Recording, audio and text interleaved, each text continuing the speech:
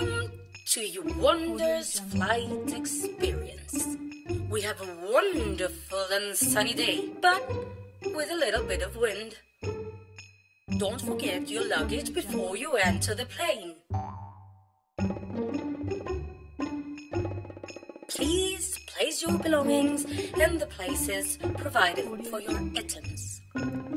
During takeoff, assure you have your seatbelt well fastened. The whole crew will be happy to attend you anytime during flight. As well, the menu that may fit you better. For the Wonders family, the most important thing is your comfort. Enjoy your flight and thank you for keeping on walking with Wonders.